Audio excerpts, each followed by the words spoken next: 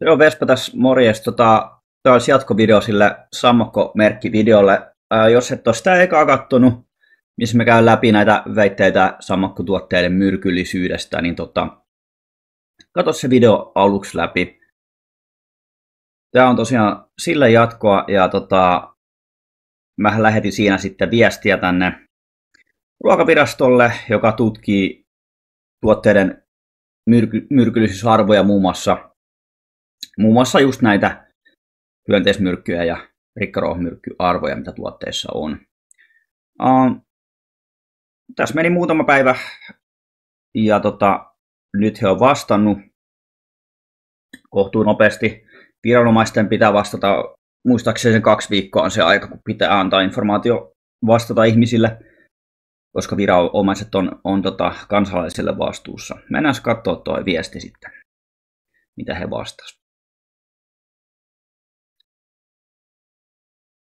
Alright, eli täällä, täällä on tota, ruokaverstosta on vastattu. Ja mä kysyin tosiaan, että voiko he tutkia näitä ja niin edespäin, mutta kävin se viime läpi, niin en käy sitten uudestaan. Mutta tässä on ihan vastaus siihen tutkintapyyntöön kautta tiedustelun kyseli noista, että kun tämmöisiä tietoja liikkuu, niin liikkuu näistä, niin, niin voitteko tutkia asiaa? No he vastasivat näin, että hei, kiitos yhteydenotosta. Pyydämme ystävällisesti, että käyt asiassa oman kotikuntasi elintarvikevalvonnan käytännössä terveystarkastajan puoleen. Eli tämä on just vähän nyt tämmöistä, täällä pallotellaan taas sitten eri, eri juttuihin. Uh, mä en tiedä mikä on mun kotikunnan, tämän kaupungin tota, elintarvikevalvoja, terveystarkastaja. Okei, joo, eli, eli tuommoisen voisi sitten etsiä kyllä ja laittaa Turun kaupungille kyselyä tästä aiheesta. Mutta mä nyt luulin, että nämä olisi sitten laittanut, koska nämä nyt sanoo tässä just sen, mitä nämä virastot valitettavasti välillä tekee, on se, että, tota, että he tutkii, mutta ei tutki. Eli tässä puoletetaan johonkin muu. Joo. Ky- kysymyksiin, jotka koskevat yksittäisiä elintarvikkeja, niiden sisältämien ainesosien tai elintarvike kontaktimateriaalien laatua, lainsäädännössä ja vaatimuksia kaupanpitoa sekä mahdollisia virheitä ja valituksia vastaa kunnallinen elintarvikevalvontaviranomainen. Okei. Kuntien yhteistyöt löytyvät ruokaviraston sivuilta. Eli täältä sitten pystyisi tarkemmin ottaa niitä oman kunnan, mä vaan toki nyt tuohon välille, että okei. Ruokavirasto on keskusvirasto, jonka tehtävänä ohjata, johtaa ja kehittää elintarvikevalvontaa. Ruokavirasto antaa neuvota yksi yrityksille ja kuluttajille internetsivujen kautta. Eli tämä nyt vähän vastailee kysymyksiä, joita mä en kysynyt, mutta toisaalta hyvä, koska tämä nyt vähän liittyy myös siihen, että mikä on heidän sitten heidän vastuunsa ja heidän kuvansa näissä, näissä jutuissa. Ruokavirasto tutkii vuosittain torjunta-ainejäämiä kotimaisista elintarvikkeista. Eli tämä nyt ainakin tuli selväksi tässä, mitä mä tuossa mietin, että mä mietin, että he luultavasti tekee tämmöistä juttua, ja he tekee, ja sitten mä mietin, jos he tekee, niin onkohan ne missään ylhäällä, niin tässä on hyvä, koska tulokset julkaistaan myös ruokaviraston sivuilla. Eli, eli tuon mä kävin klikkaamassa, mä tota, näytän siitä myös vähän teille. Eli tämmöistä tutkintaa tehdään, mutta sitten mitä kaikkea siellä sitten on, niin katsotaan yhdessä. Mä en ole käynyt sitä itse vielä läpi. Valtaohjelma koostuu kansallisesta monivuotisesta valvontaohjelmasta sekä yhteisön valvontaohjelmasta – Vuosittaiset EUn täytäntöpanoasetukset määrittävät mm, yhteisön valvontaohjelman vuosittain vaihtuvat, vaihtuvat tulkittavan tuotteen sekä jäsenvaltiollisen näytteiden määrän. Eli EUlta tulee asetuksia, minkä mukaan sitten katsotaan, että onko rajarvojen sisällä niin edespäin, jos mä tuosta oikein ymmärsin. Kansallisessa valvontaohjelmassa otetaan huomioon viljelymäärät ja painotetaan ruokavalion kannalta keskeisiä, tuot, tuot, keskeisiä tuotteita sekä tuotteita, joissa on aiemmin todettu määräysten vastaisuuksia. Eli nämä pyrkii sitten tutkimaan varmaan käytetyimpiä tuotteita, heillä ei ole niin kuin, aikaa ihan kaikki käydä läpi. Semmoisia, mitkä on keskeisempiä, kä- käytetympiä, jotain, jostain tulee ohjeet, mitä sitten tutkitaan ja mitä ei. Tämä on vähän tämmöistä ihmeellistä, mutta se nyt on näin. Ja mä ymmärrän, että ei varmaan resursseja ihan kaikkia kuitenkaan tutki.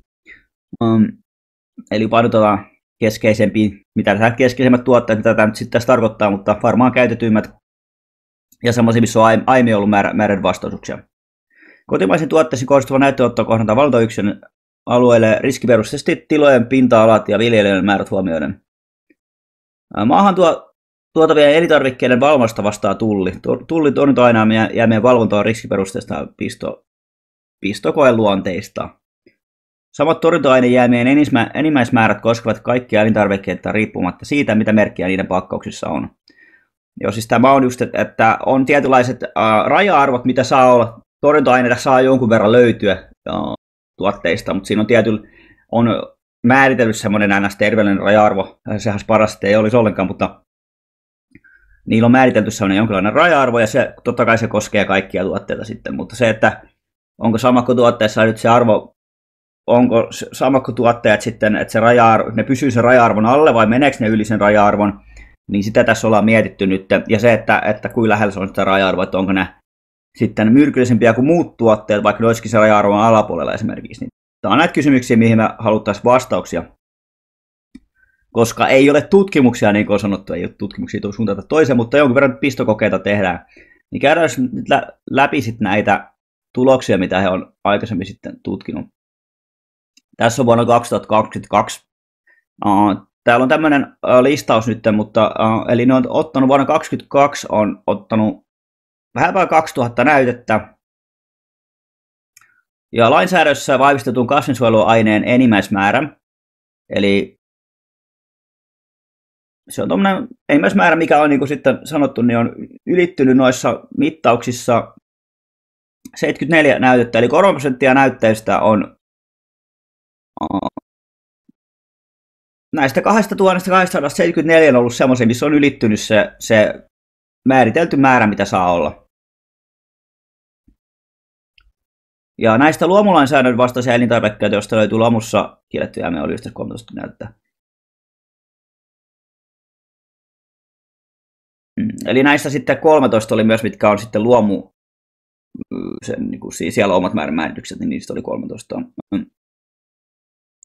Kotimaisista tuotteista otettiin 565 näytettä otettu kotimaisista tuotteista, ilmeisesti ulkomaista on suuri osa ollut sitten. Tota, näistä yhdessä kasvisnäytteessä jäämäpitoisuus ylitti tavanomaisen elintarvikkeen asetetun jäämän ensimmäisenä ja luomu lainsäädännön vastaisen näyttöön oli yhteensä kaksi kappaletta. Okei. Okay. Eli kas, kasvisnäytteistä, eli ilmeisesti puhutaan tomateista, kurkuista, tämmöisistä näin. Mm.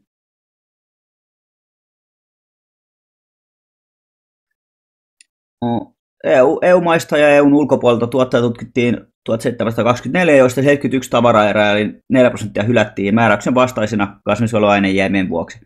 Eli näitä, näitä löytyy tämmöisiä. Näistä 11, oli, 11 erää oli luomutuotteita, jotka sisälsivät luomussa kiellettyjä jäämiä. Eli kun luomussa vielä pitäisi olla tarkemmat rajat noilla, noilla just noilla myrkyllä Eli niissä niin kuin lähinnä ei pitäisi käyttää ollenkaan, se on niin kuin se oletus niissä, mutta niissä kuitenkin jonkun verran käytetään, niin hyväksytään myös sitä käyttöä. Luomumerkkikään ei ole taas sitä, että siinä ei olisi. Mutta tota, ne on sitten näistäkin 11 erää sitten on ollut, ollut ne omatkin rajat sitten ylittänyt, eli luomurajat. 54 maahantuorulla erällä annettiin huomatus kasvinsuojeluaineen pitoisuuden vuoksi. Ja sitten kun tästä on jäänyt kiinni, niin sitten niin kuin tuossa viestissä kerrottiin, että sitten niitä ainakin sitten myös tutkitaan jatkoseurataan, että tuleeko muutoksia systeemeihin.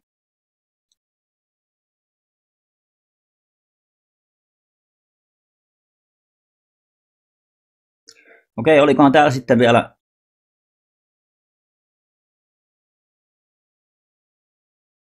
kasvisolujen ainejäämien valvontaa. PDF se. Onko tämä sitten yleisesti?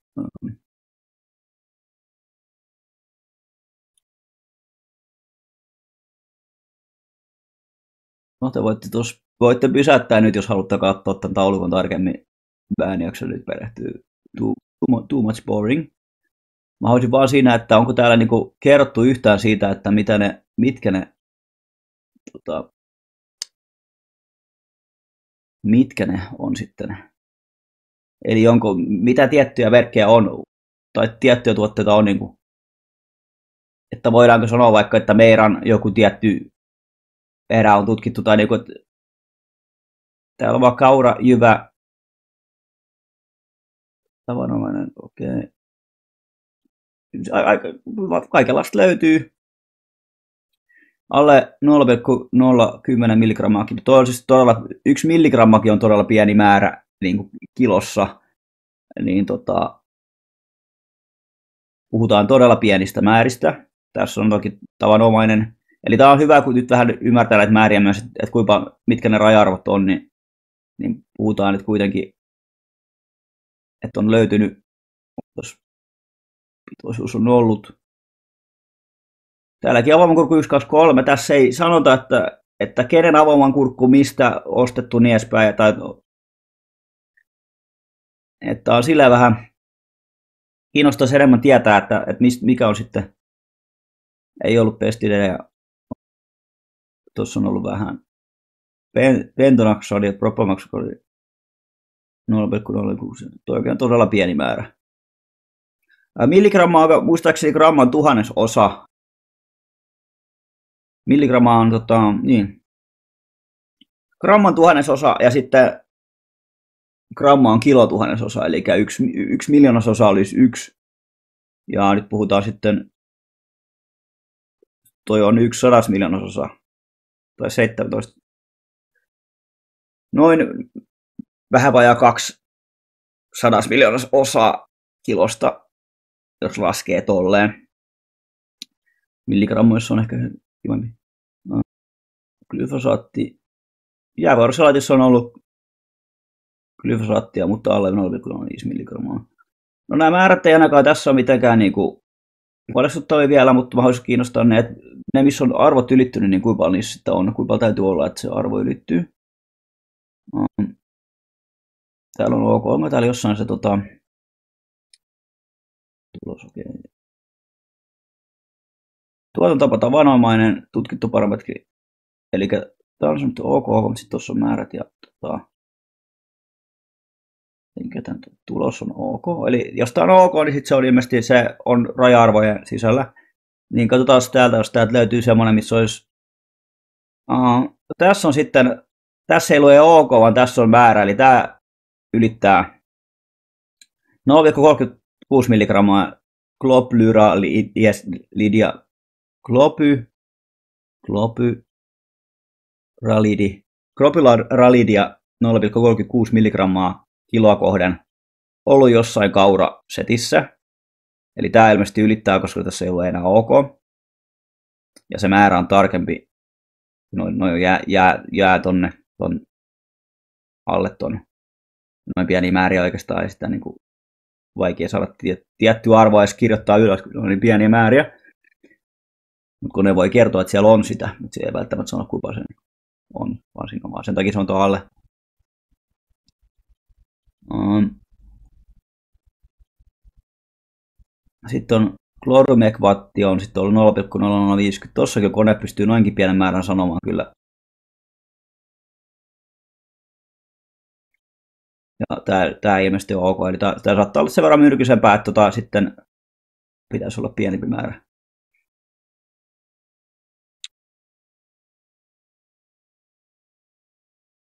No.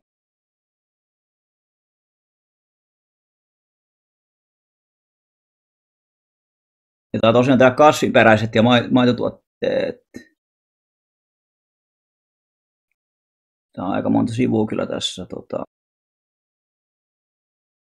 Tämä tulee vähän enemmän sitten, eli mansikassa on ollut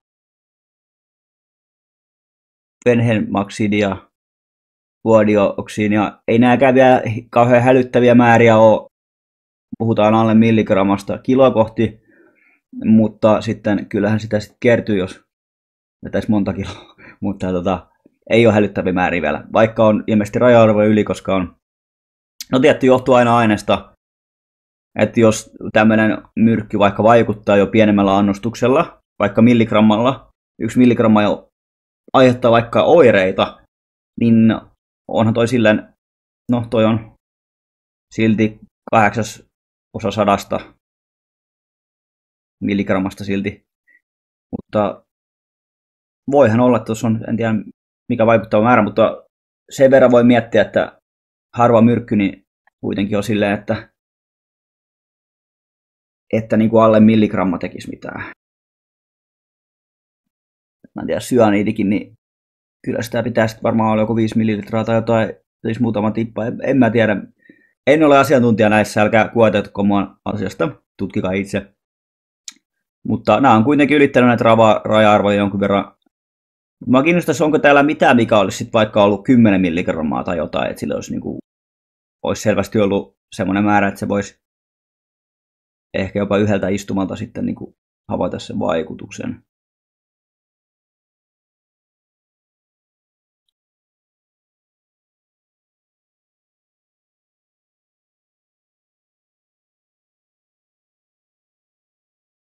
Tuossakin 0,13, toi melkein menee milligramman, toi, tota, tai melkein toikin yksi kymmenesä, mutta silleen, että toi nyt on ollut suuri määrä. Tässä, ei, tässä nyt puhutaan niin kuin mansikoista tämmöisistä, että nämä ei ole sit niitä, niitä, mitä me kysyttiin, että nämä on, nämä on nyt kasviperäistä maitotuotteet. Puhutaan lähinnä tämmöistä just, että niin kuin mitä kasvi hevipuolelta, hedelmävihannespuolelta löytyy. Katsotaan vielä se, siinä oli se kolmas taulukko vielä. Tää.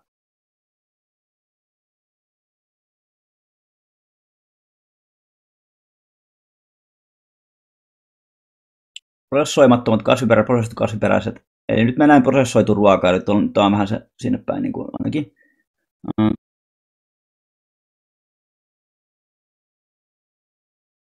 Jaha, tässä on vain jonkun tämmönen, tässä on vain yksi sivu.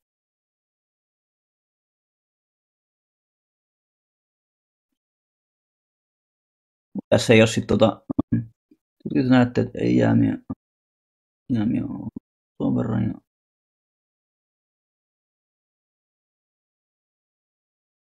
En tiedä, tästä, näistä nyt ei voi sanoa mitään, että missä kohtaa ne sammakkotuotteet menee, onko niitä edes tutkittu.